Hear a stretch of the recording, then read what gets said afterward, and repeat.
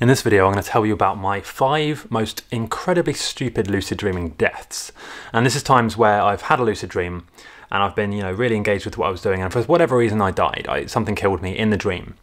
Uh, so, number one, okay, I was walking down this sort of forest path, okay, and there were all these weird flowers sort of growing like uh, around the sides of this path. And for some reason, I thought, or I expected, I was lucid at this point, right? But I, for some reason, I expected the flowers would become alive. They would come alive and start attacking me. No idea why I thought this would happen, but for some reason this is what I expected to happen. So these flowers, and they were blue and white, okay, these blue and white flowers started to creep up around me. They entangled around my body, and then they basically suffocated me. and yeah, this was a pretty scary death in a lucid dream. This was a pretty scary lucid dream story, I guess. And yeah, so they suffocated me and I woke up instantly and I was kind of freaked out. And then from that point on, uh, I never dreamed about flowers again. I thought, let's just not risk it. So number two, I was walking down, uh, it always starts with me walking usually, right? Except the last one, which is kind of different. Number two, I'm walking down this mountain path. And for some reason, I try and jump up in the air. I try and jump to start flying, okay? And yet what happens is I'm not completely lucid. I'm not as stable as I would want to be. I've done a couple of reality checks, but I'm not like 100% lucid.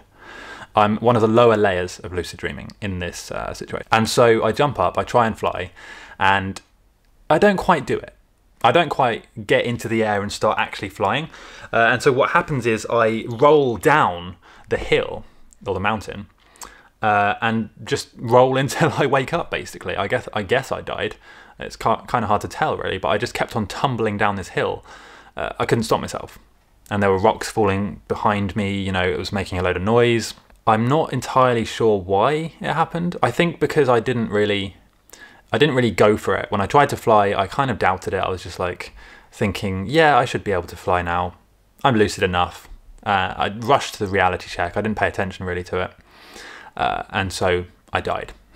so number three, I'm actually climbing a tree now. I'm climbing this kind of palm tree, and I don't know how I'm climbing it because it has no branches, but I'm sort of like, my hands are sticking to it like a chameleon.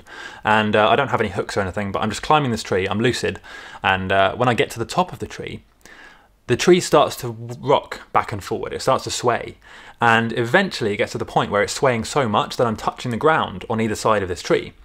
And then out of nowhere, out of literally nowhere, the ground starts growing these kind of spiky things, like giant spiky, uh, whatever you'd call them, bits of metal coming out of the ground, like giant pins.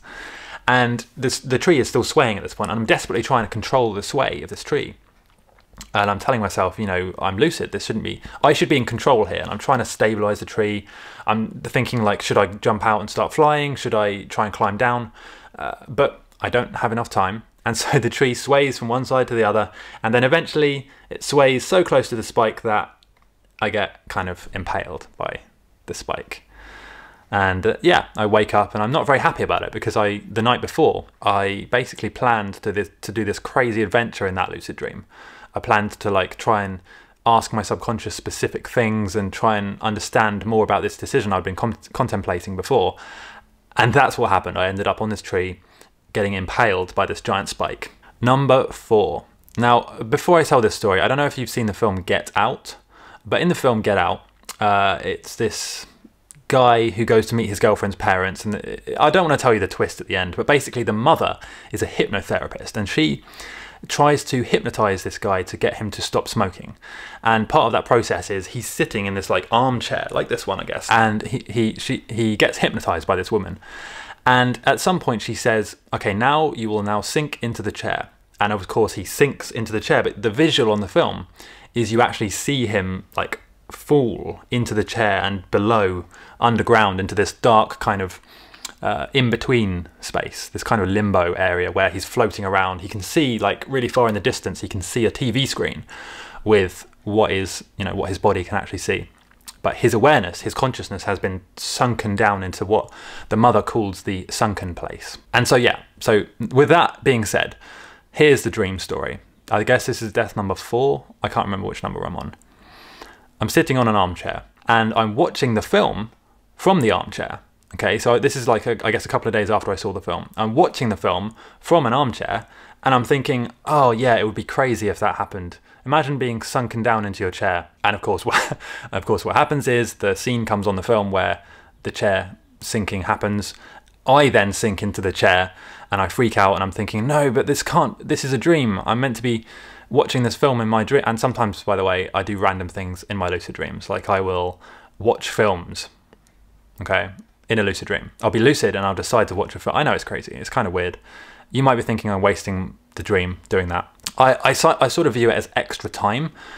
So sometimes I will do things that I just feel like doing in the moment. Sometimes it's meditating. Sometimes I go for a peaceful walk in the dream. I don't do anything crazy. Sometimes I literally just walk down the forest uh, or walk on the beach and just enjoy that experience of knowing that it's a dream. Anyway, so yeah, I was watching this film. I sink into the chair and I actually get stuck there for about what feels like five minutes or so. But of course, in the dream, that's more like a few seconds. But it feels like a few minutes that I'm stuck there and I can't move and I'm just trying to get out of this sunken place. I'm just floating around, wondering when I will wake up.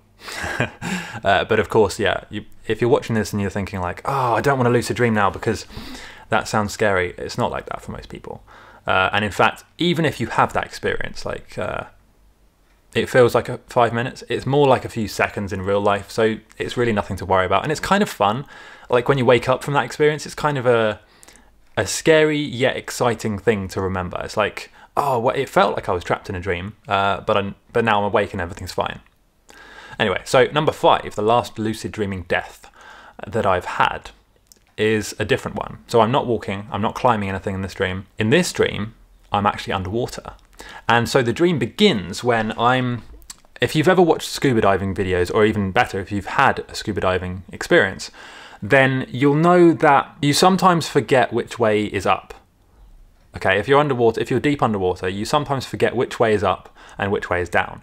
And especially if it's a dark or cloudy day and the sun doesn't make it obvious where the surface of the water is, you can kind of lose track of which direction you're going in. And, and this is kind of scary even in real life, okay? But now imagine you're in a lucid dream. So, so I'm lucid, I'm diving, it's a cloudy day, I can't really work out where the surface is. And I feel like I'm quite deep underwater, okay? This feels like I'm really, really deep. I don't know how far, and I'm floating around, I'm looking at these fish, and suddenly this giant snake starts coming towards me. This is like a massive sort of yellow and black anaconda type snake. The type from the like from the film Anaconda, you know where it's like a massive one that's been overgrown because it had some orchid flower and it starts sort of slithering towards me in the water. And I know I need to escape, I need to get up to the surface, but I can't work out which direction it's in. So I end up actually going deeper underwater. I go towards the the the ocean floor. And I realise my mistake when I actually see the ocean floor and I think, hold on a second, this is, I'm going the wrong way here. The snake is kind of circling me like a weird uh, shark type thing. And I'm thinking, this is bad, this is going to end badly. Although I'm lucid, I can't seem to work out how to escape this. So I try talking to the snake, it doesn't really respond, uh, and time runs out. Okay, you know, if you've if you've been in a lucid dream where it turns into a bad lucid dream, like a lucid nightmare, you'll know how this feels. Time feels like it's running out. You know it's going to end badly, and so you just kind of have to watch yourself getting eaten by the snake. In this case, the snake actually doesn't touch me. But what happens is I start drowning. I start gasping for air. I feel like I just can't get that fresh breath of air that you need. You know, when you're when you've been holding your breath for a long time, you just need that refreshing breath of air. I can't seem to get it, and I drown. I then watch the snake sort of wrap around me, and then it eats me. But the actual death was caused by the drowning. So I woke up pretty annoyed and pretty scared. Yeah. So I just wanted to say, if you've been hearing these stories and you're kind of scared about lucid dreaming, I want to make it very clear that these are not common experiences. Unless you already have lots of nightmares, most of the time, I lucid dream about really cool things and it's exciting and fun and life changing and profound and all of that stuff. But yeah, sometimes it doesn't go well, it doesn't go according to plan, and it's just kind of a scary or bad experience. but yeah, please don't let this put you off. And if you do want to learn how to lucid dream, or if you've never had a lucid dream but you kind of want the experience, then I do have a video course called the Lucid Breakthrough course, which is linked in the description. It basically shows you how to lucid dream even if you've tried and nothing's worked. It's specifically for people who've already tried. So if you haven't tried yet, don't get this course because you can probably just land for free on YouTube or something like that. But if you have tried and it's not worked, then the course is in the description. And leave a comment letting me know your scariest or what you would imagine to be your scariest lucid dreaming experience. Like, what would you really not want to have happen? Uh, and yeah, hopefully you've enjoyed this video, and I'll see you next time. Thanks for watching guys. This video and this channel are supported by my Patreon followers. Please consider giving just a dollar a month to support this channel or just click the links in the description. You'll find links to various lucid dreaming products, articles, techniques and tutorials. If you did enjoy this video, please click the notification bell and subscribe and I'll see you next time.